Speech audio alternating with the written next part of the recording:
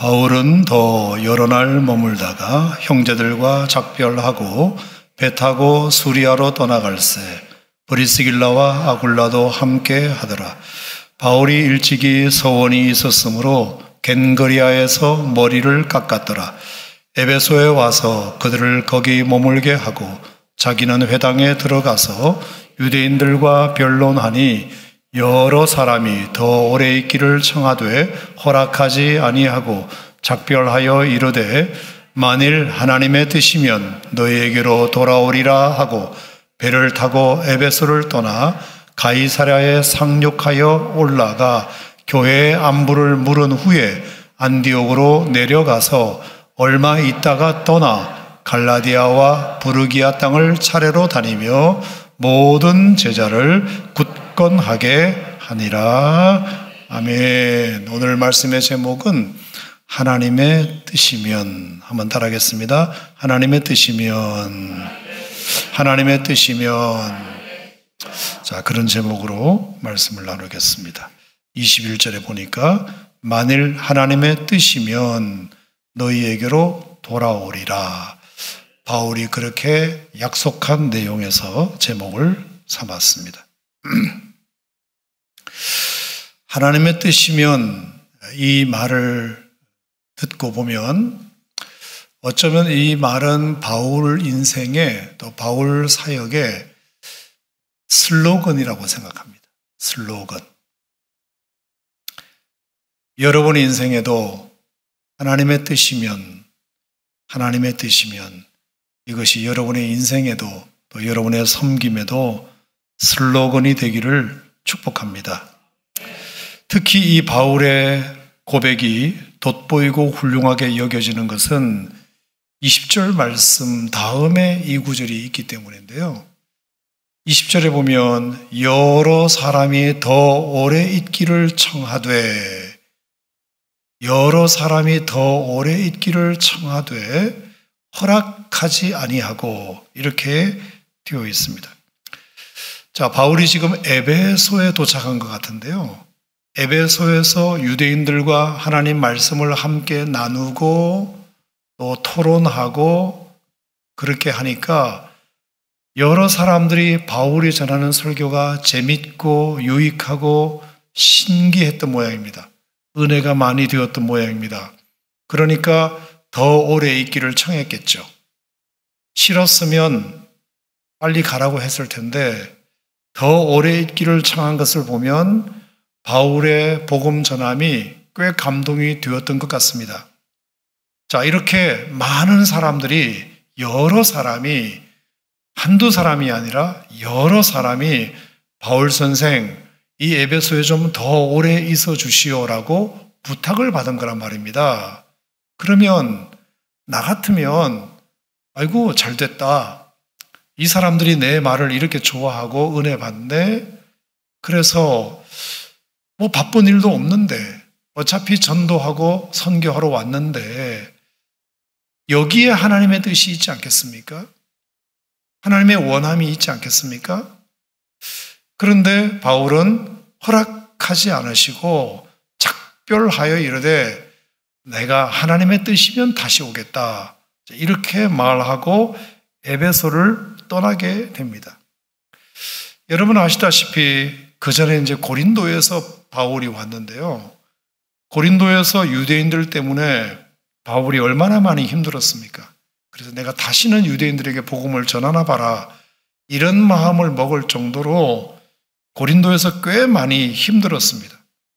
갈리오라는 총독이 유대인들이 바울을 고소했다는 것을 받지 않아 주었으니 망정이지 정말로 유대인들로부터 꽤 많은 실망을 했더랬습니다.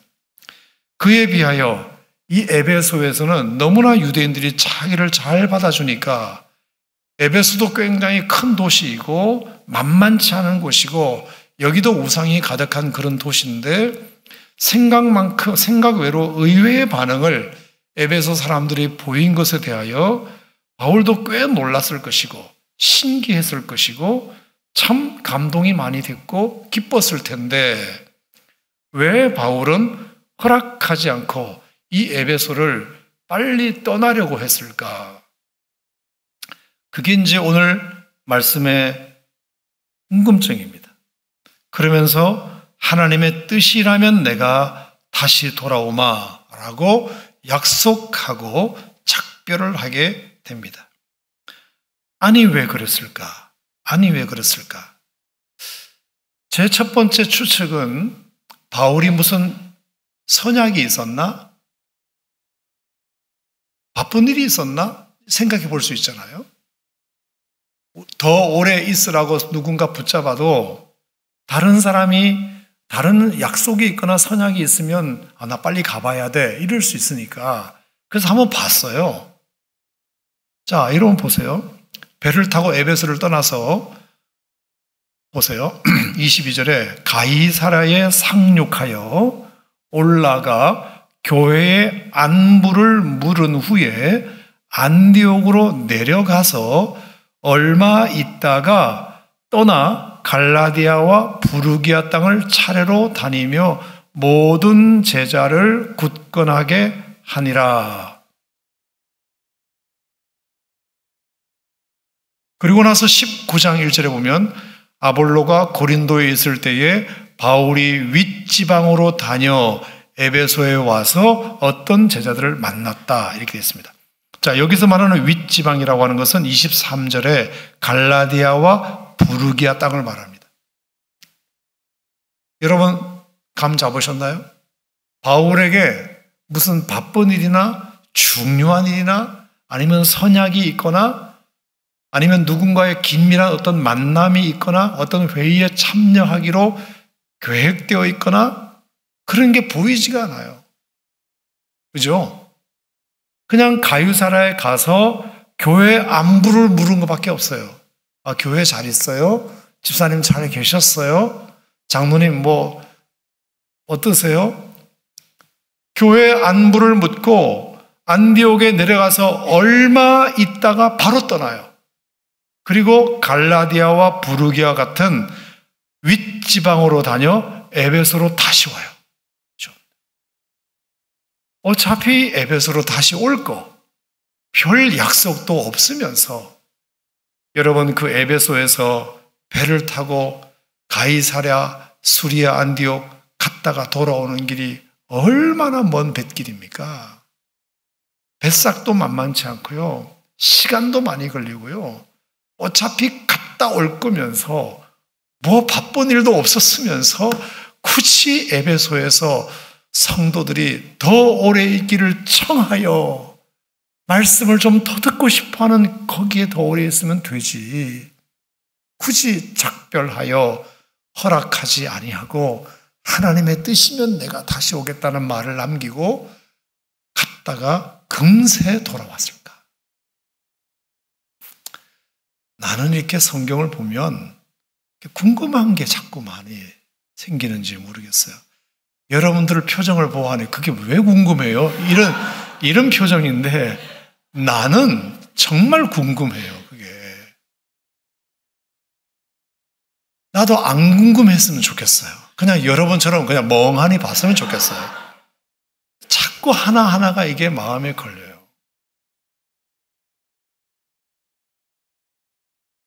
어차피 갔다가 별일 아니고 그냥 교회 안부를 묻고 올 거. 사람들이 이렇게 원하는 이 자리에 그냥 더 있지. 왜 갔다가 다시 왔을까? 갔다 오는 한이 있더라도 떠났을까? 여러분 여기에 참 기가 막힌 뜻이 있더라고요. 자, 여기가 에베소예요, 에베소.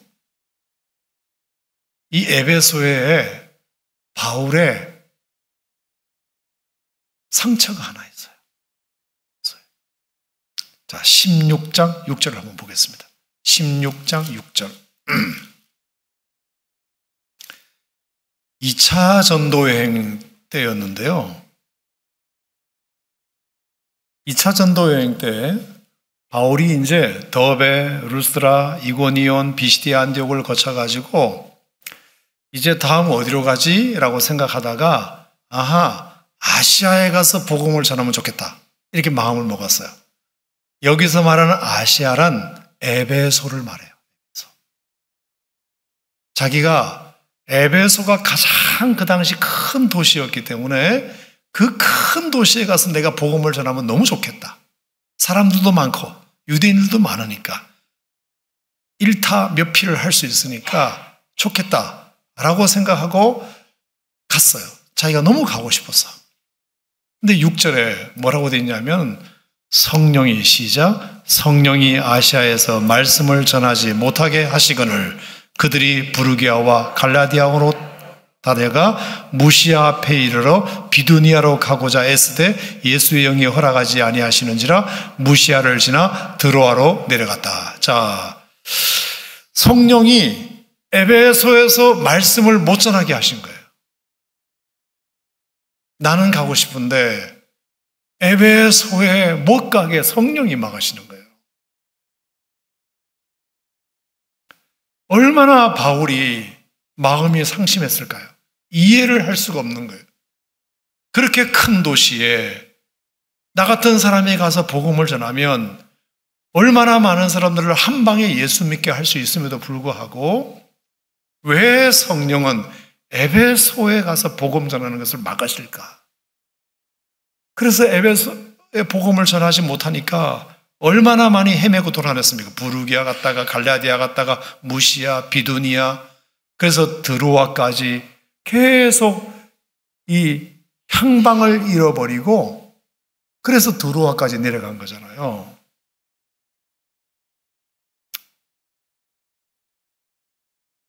정말로 좋은 교회였는데 정말로 내가 가고 싶은 도시였는데 성령께서 이 에베소에서 복음을 전하지 못하게 막으신 것이 생각날 수밖에 없어요.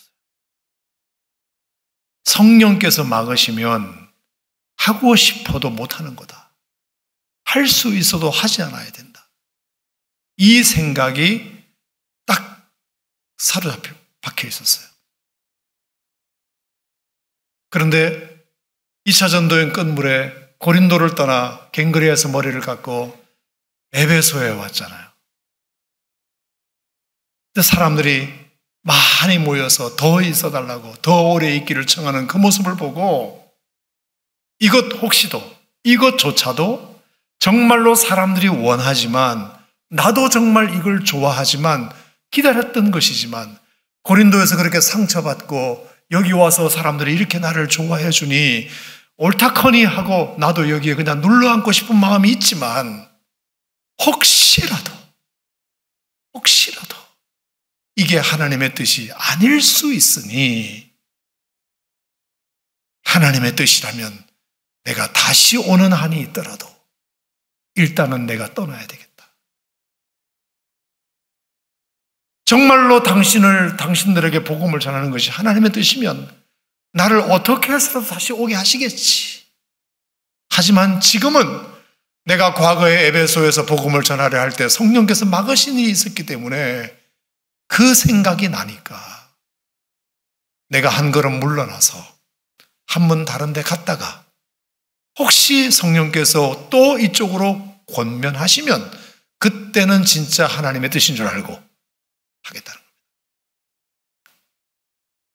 그래서 바울이 별 스케줄이 없는데도 불구하고 그냥 교회 가서 안녕하세요. 이 말 한마디 하고 오는데도 불구하고 굳이 갔다가 다시 오는 그래서 3차 전도 여행 때는요, 에베소에서 무려 3년이나 사역을 해요. 3년. 가장 긴 시간을.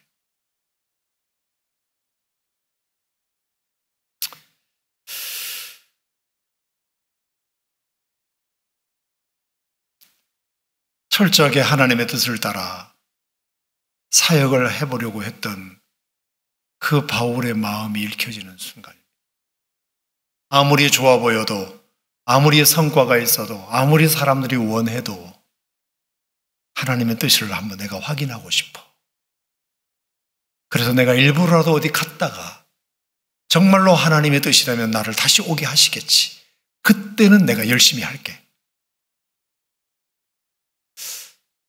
성령께서 에베소에서 복음을 전하지 못했, 못하게 하셨던 그것이 생각이 나서 바울이 이렇게 하나님의 뜻을 물으려고 하는 그 태도가 얼마나 우리 신앙생활에 필요한 일인지 할 수 있다고 하는 게 아니라 하고 싶다고 하는 게 아니라 사람들이 원한다고 하는 것이 아니라 조건과 환경이 돼서 하는 것이 아니라 그것보다도 하나님의 뜻이 우선이다. 하나님이 정말로 원하시는지 내가 한번 묻고 묻고 조금 나중에 하더라도 나중에 하더라도 하나님의 뜻인 것을 묻고 하겠다. 그리고 나서 돌아와서는 진짜 3년 동안 두란 노 서원에서 얼마나 열심히 복음을 전했는지 몰라요. 그때는 뭐죠? 하나님의 뜻에는 확신이 분명했기 때문이죠. 분명했기 때문이죠. 에베소에 대해서는 조심스러운 마음이 있는 거예요. 조심스러운 마음. 자, 그런 점에서 보면 저는 이 바울이 한 걸음 한 걸음 그가 무엇을 옮기는 데 있어서 굉장히 신중하게 하나님의 뜻대로 뭔가를 해보려고 하는 그 마음이 읽혀진 것을 보게 됩니다. 자, 그것은 이것뿐만 아니라 바로 그 앞에도 이런 비슷한 내용이 있는데요. 자, 18절 말씀에 바울은 더 여러 날 머물다가 형제들과 작별하고 배 타고 수리아로 떠나갈새 브리스길라와 아구알라도 함께 하더라.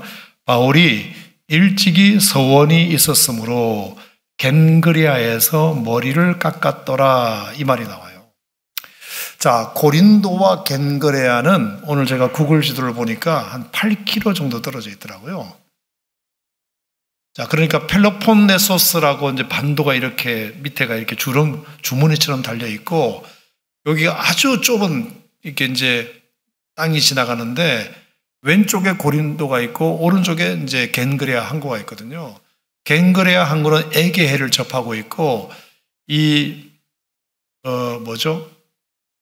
고린도 고린도는 이쪽 바다, 이 아드리헤아 쪽 이쪽 바다를 접하고 있어요. 자, 그러니까 이 동서양의 문물이 만나는 진짜 길목인 거죠. 길목이죠. 고린도에서 서쪽에서 오는 문물이 고린도를 거쳐서 겐가리를 통해서 저쪽으로 건너가기도 하고 또 동쪽에서 온 문물이 겐가리아와 고린도를 거쳐서 서쪽으로 가기도 하고 자, 그래서 이제 겐그리아에서 배를 타고 가려고 하는데 거기에서 머리를 깎는 일이 있어요. 머리를 깎았다.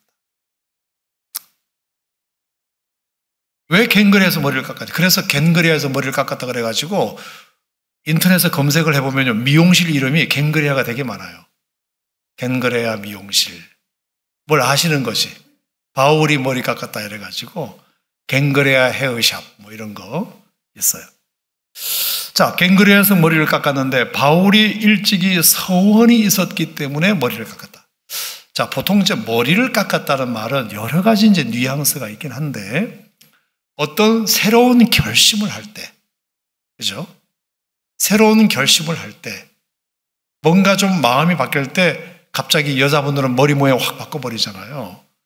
뭔가 심경의 변화가 생겼을 때 머리를 깎는다는 표현을 우리가 합니다.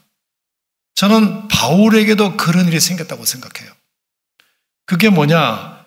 바울이 일찍이 서원이 있었으므로 겐그리아에서 에베소로 출발하기 전에 머리를 깎았다. 뭔가 나름의 결심을 했다는 겁니다.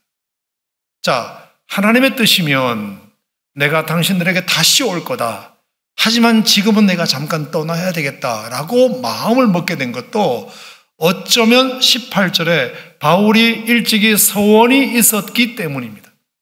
그래서 그것을 다시 한 번 더 마음에 다짐하기 위하여 겐그레아에서 머리를 깎았다고 본다면 바울이 도대체 서원이 있었다는 것이 뭘까?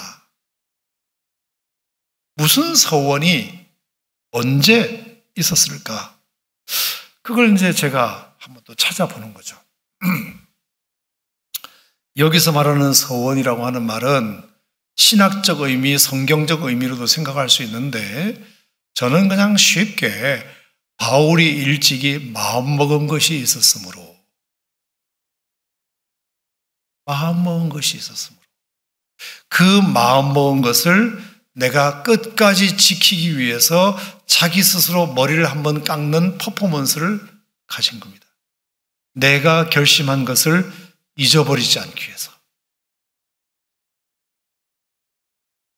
자, 그러면 바울은 언제 어떤 특별한 마음을 먹었을까 하는 것을 제가 이렇게 쭉 성경을 보니까 역시 아까 말씀드린 그 에베소 드로아와 관련이 있다고 봐요. 자, 사도행전 16장 가보겠습니다. 16장.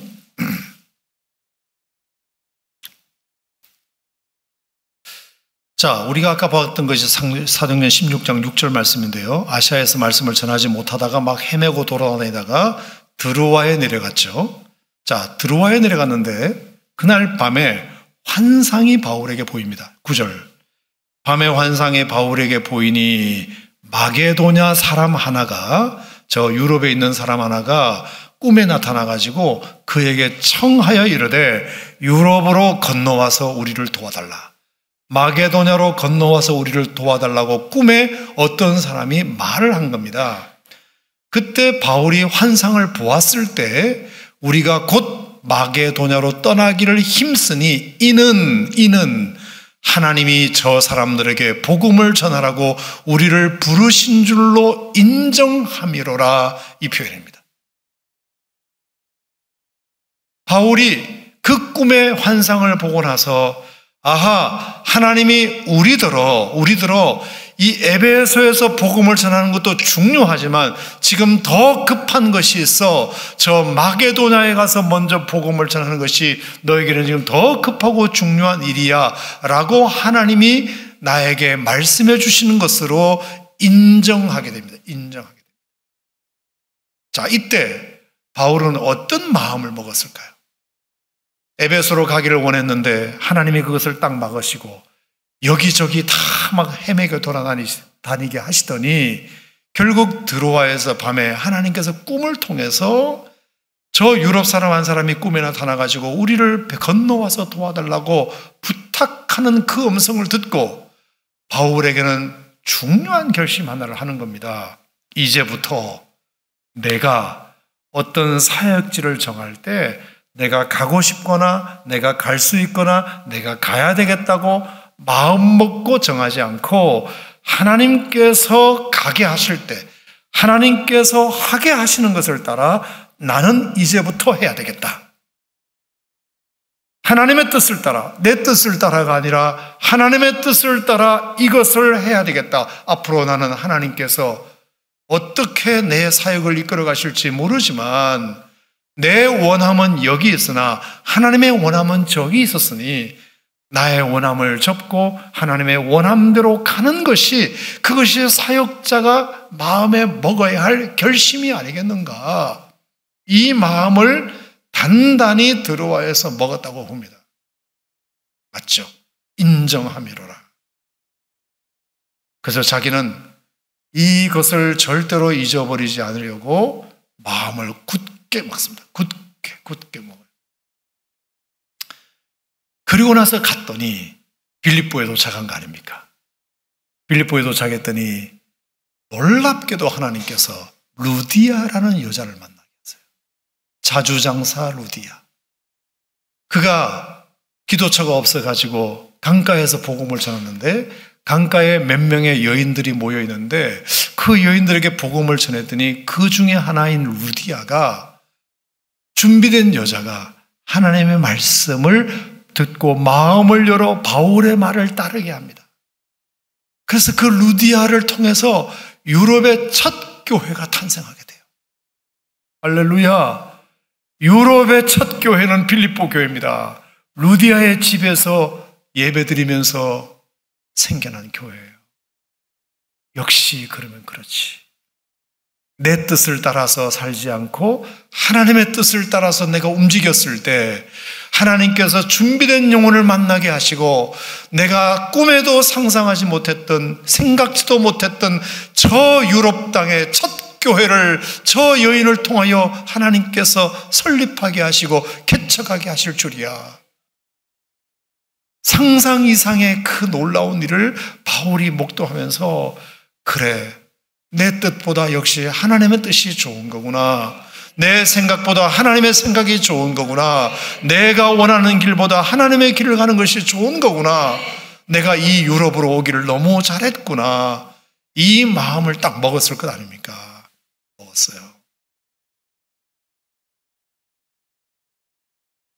뿐만 아닙니다. 빌리포에서 어떤 일이 있었나요? 귀신 들린 여종 하나를 불쌍해가지고 고쳐줬더니 그 귀신 들린 여종을 조종하는 주인이 여럿이 있었는데 그 주인들이 그 귀신 들린 여종을 통해서 점치는 장사를 하다가 바울이 그냥 귀신 들린 여자를 온전하게 해주는 바람에 수입이 끊어졌다는 것 때문에 바울을 고소해가지고 빌립보 감옥에다가 가둬버립니다.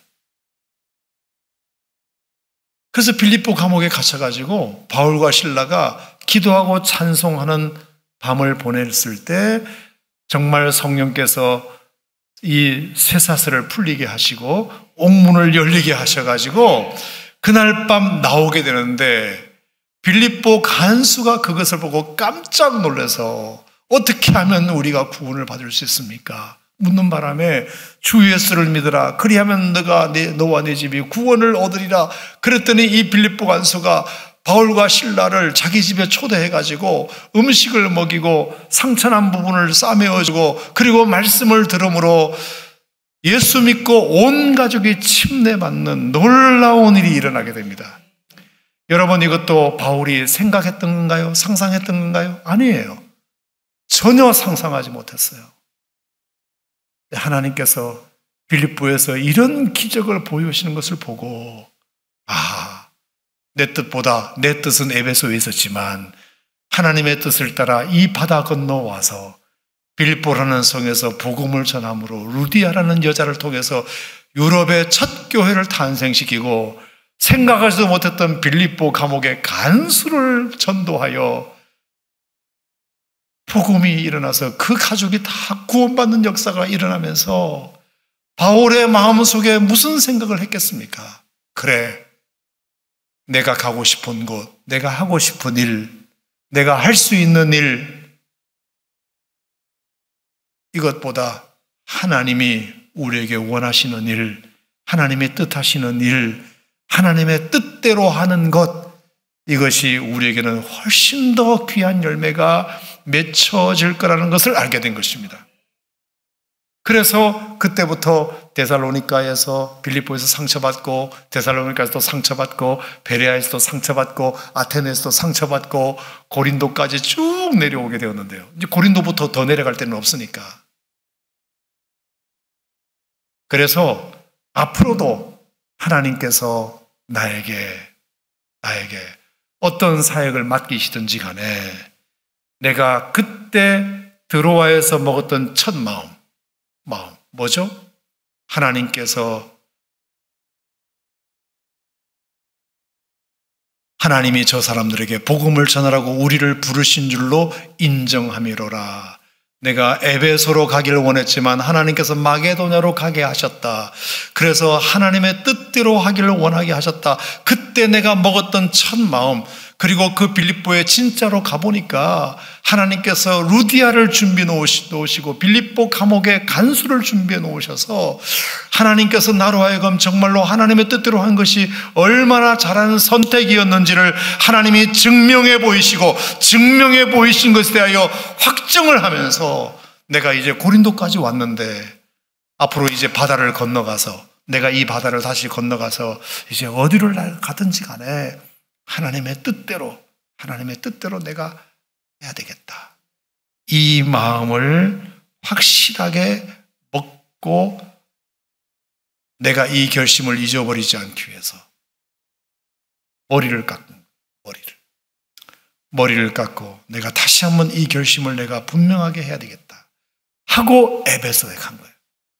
에베소에 가니까 사람들이 막 복음을 전해달라고 막 더 오래 있어달라고 부탁을 하는 모습을 보면서 잠시 헷갈릴 뻔 했지만 아니지. 내가 머리 깎고 바다 건너왔는데. 내가 일찍이 마음 먹고 하나님 앞에 결심한 것이 있는데 내가 사람들이 원한다고 해서 이것이 정말 하나님의 뜻인지 묻지도 않고 내가 이렇게 하는 것은 온당하지 않지. 그래서 에베소 사람들에게 여러분 저의 말을 들어준 것이 너무 고맙지만 제가 하나님의 뜻이면 다시 오더라도 내가 일단 가야 되겠습니다. 내가 에베소에서 옛날에 경험했던 그 경험도 있고 보면 내 원대로 다 내 뜻대로 될 것 같다가도 하나님이 막으신 경험이 있기 때문에 정말로 하나님의 뜻이라면 제가 분명히 다시 올 테니까 조금만 기다리소이. 조금만 기다려주세요. 그리고 나서 가이사랴로 수리아로 갔다가 얼마 있다가 다시 오게 되는 모습을 보면서 그때 바울은 확실히 아는 겁니다. 하나님의 뜻이 맞다. 그래서 에베소에서 전도 여행 1차, 2차, 3차 전도 여행을 통틀어 가장 오래 머무른 곳이 에베소예요. 두 번째 많이 머무른 곳이 코린도죠. 어떤 때는 3주만 있을 때도 있었고요. 어떤 때는 지나간 곳도 있었습니다. 그런데 3년 동안 에베소에 하나님께서 머물게 하시면서 정말 하나님께서 그곳을 통해서 놀라운 역사를 바울이 하게끔 만들게 됩니다. 자, 오늘 말씀을 통해서 저와 여러분이 깊이 깨달아야 할 것은 뭐냐? 우리의 신앙생활이라고 하는 것은 예수님처럼 내가 하고 싶다고 하는 것도 아니고, 내가 할 수 있다고 하는 것도 아니고, 내가 해야 한다고 하는 것도 아니라, 정말로 하나님이 나에게 어떤 뜻을 가지고 있으신지를 알고 그 뜻을 따라 준행하는 것이 진짜 신앙생활이다. 어제 우리가 순종의 삶 공부하면서 그 얘기를 질문을 한번 던져봤는데 예수님께서 요한복음 19장에 십자가상에서 다 이루었다, 다 이루었다 이렇게 마지막 고백하시고 돌아가셨잖아요. 근데 여러분 가만히 생각해 봐봐요. 예수님께서 뭘 다 이루셨나요? 뭘 다 이루셨나요? 이 세상 모든 사람들을 다 전도하셨나요? 어떻게 생각하세요? 한국에도 오셨나요? 저 중국이나 일본에도 오셨나요? 못 오셨어요. 예수님이 돌아다니신 곳은 거기 예루살렘하고 갈릴리 거기만 왔다 갔다 왔다 갔다 왔다 갔다. 다 가보지도 않았습니다. 이 세상 모든 사람들을 다 전도한 게 아니에요. 다 구원하지 않으셨어요. 그리고 그러면 병자는 다 고치셨나요? 자, 이스라엘 고 땅에 살고 있는 환자들이 엄청 많았는데 그러면 예수님이 그 모든 병자를 다 고쳤나요? 아니죠. 여전히 아픈 사람들 많았다니까. 그러면 도대체 예수님은 뭘 다 이루셨다는 거예요? 다 이루었다. 이렇게 말씀하셨잖아요. 뭘 다 이루신 거예요? 뭘?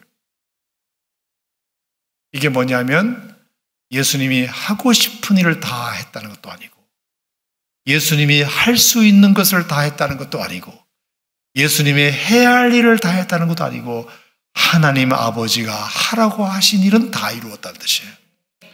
하나님이 이 땅에 당신의 아들을 이 땅에 보내시면서 예수야 너 요거 해 알았지? 그것은 다 했다는 뜻이에요. 그것은 다 했다. 철저히 하나님 아버지의 뜻대로 자기가 가고 싶은 데라고 해서 가지 않고 자기가 갈 수 있다고 해서 할 수 있다고 하지 않고 하나님 아버지의 뜻을 늘 물으면서 그 뜻을 따라서 행했기 때문에 비록 그 당시에 모든 환자들을 다 고치신 건 아니지만 비록 그 당시에 모든 사람들을 다 구원하신 것은 아니지만 결과적으로 예수님은 딱 하신 것이 십자가에 못 박혀 죽으신 것밖에 없지만 여러분 지금은 어떻게 됐습니까?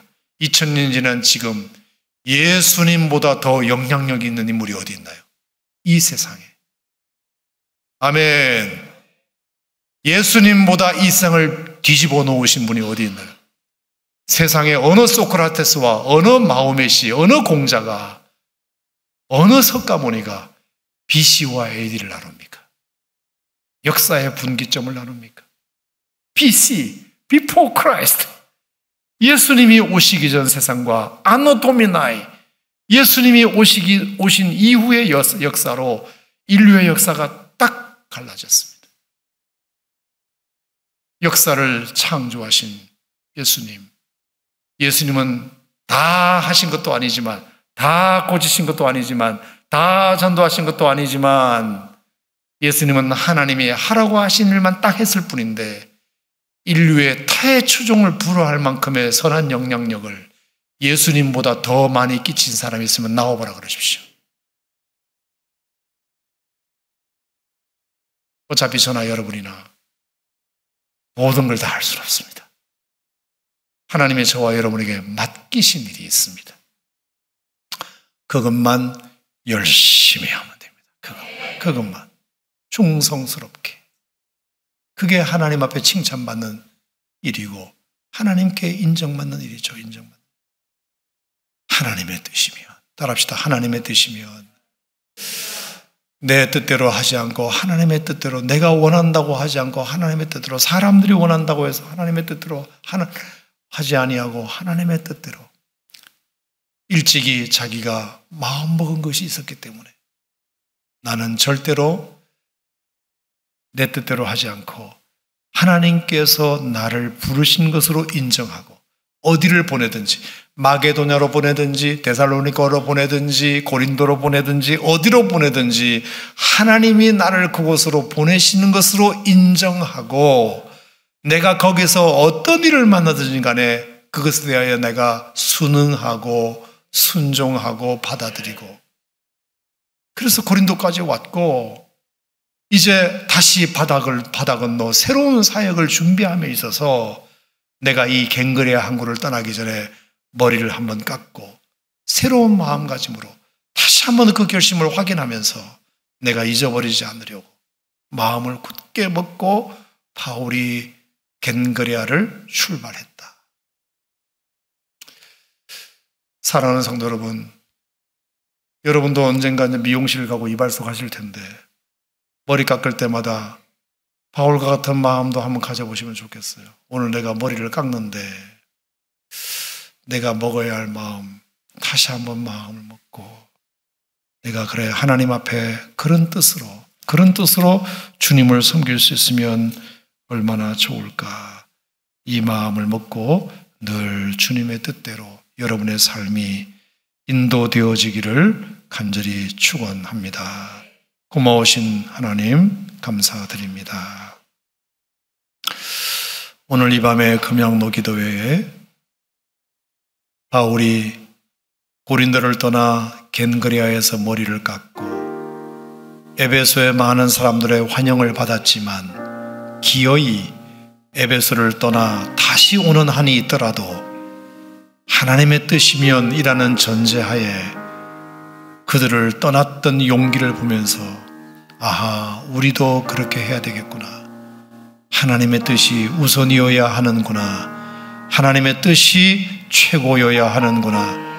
하나님의 뜻이 priority number one이 되어야 되는구나. 우리에게 이 마음을 우리에게도 주셔서 내가 할 수 있다고, 내가 하고 싶다고, 내가 해야 할 일이라고 무턱대고 하지 말고 또 묻고 또 묻고 또 물으면서 또박또박 주님의 길을 걸어갈 수 있도록 도와주시옵소서. 바울이 결심했던 그 결심을 잊어버리지 않으려고 스스로 머리를 깎아가면서까지 그 결심을 다시 한번 확인했던 모습을 보면서 우리도 우리가 예수님 앞에 처음 먹었던 그 마음, 내가 집사로 임명받을 때, 장로로 임직받을 때, 권사로 세워질 때, 안수집사로 세워질 때, 내가 먹었던 그 마음, 하나님 앞에 변하지 아니하고 내가 머리를 깎아야 한다면 머리 깎는 마음으로 다시 한번 그 서원을 기억하고 주님의 뜻대로만 끝까지 그렇게 예수님께서 다 이루었다는 고백을 하실 때까지 우리도 그런 고백을 할 수 있는 하나님의 백성들이 되게 하여 주시옵소서. 오늘도 이 시간 주님의 뜻대로만 주님의 뜻대로만 오늘도 이 시간 기도로 나아갈 때 우리의 기도에 응답해 주시고 하나님의 뜻을 발견하는 복된 시간 되게 하여 주시옵소서. 예수님 이름으로 기도하옵나이다. 아멘.